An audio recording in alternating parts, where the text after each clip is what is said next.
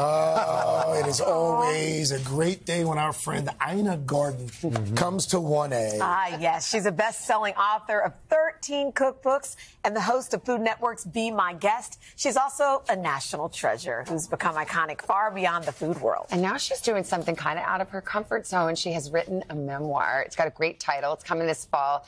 Be ready when the luck happens. Ina, good morning. So happy to be here. You know, everybody's been wanting you to tell your story for a long time. What made you decide that this was the right moment? well, for a long time, I thought, who would be interested in my story? Everybody.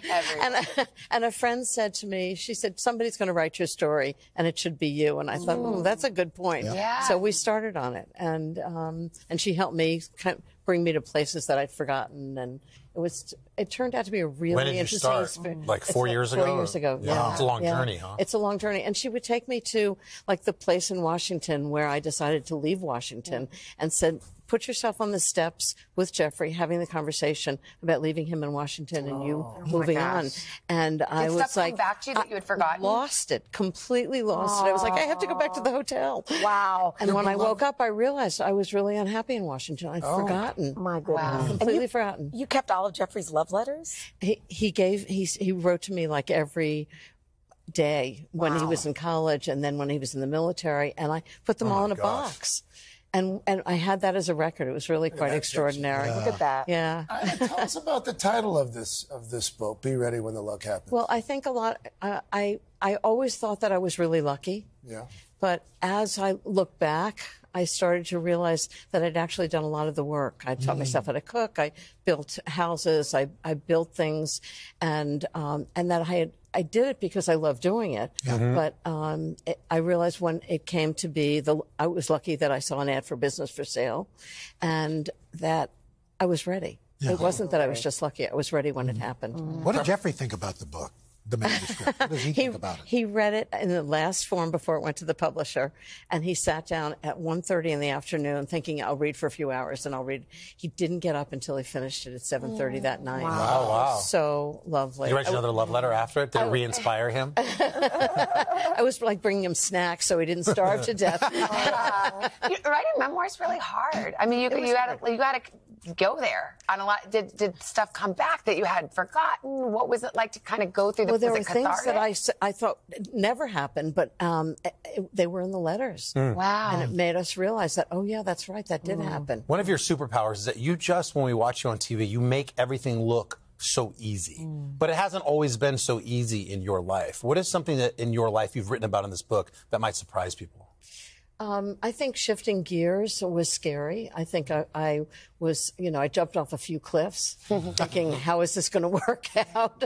But it never would have happened if I hadn't. So I think that having the courage to Take the do- risk. To do scary things Yeah. is really what kind of propelled my story. We got to talk about Be My Guest while you're here. Yeah. Yeah. This, And, this you know, I season's think lineup. A lot of people think I've chosen people because they're famous. I've chosen people that have really taken risks. And I think, um, you know, writing this book made me appreciate that um, people like Jennifer Garner, I mean, just take incredible risks um, every day. She lives her life publicly, but she's um, committed to um, doing a really good job, and she does it no matter what happens. We have a clip. Let's take a look at a clip Yeah. of Jennifer Garner. She's a great friend and wonderful woman.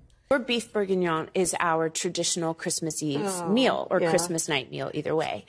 And I double it because Yeah. everyone in the family has to have it. So I double the cognac.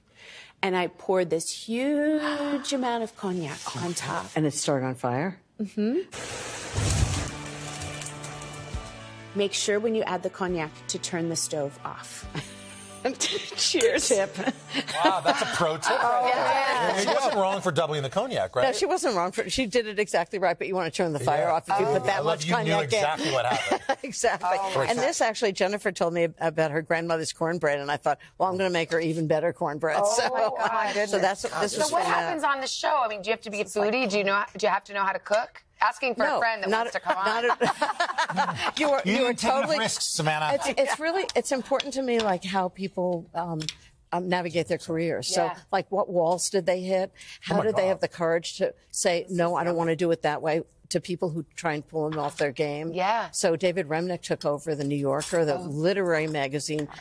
Had never edited anything, been a journalist and writer. It was losing $11 million a year. Oh my God. And he, so he has to be a businessman and an editor. Exactly. Yeah. And he just did it brilliantly. And the, just the courage to say, I can do this was just extraordinary. This is not want the you to know, crumbly Is this uh, cornbread that I grew up with. cornbread?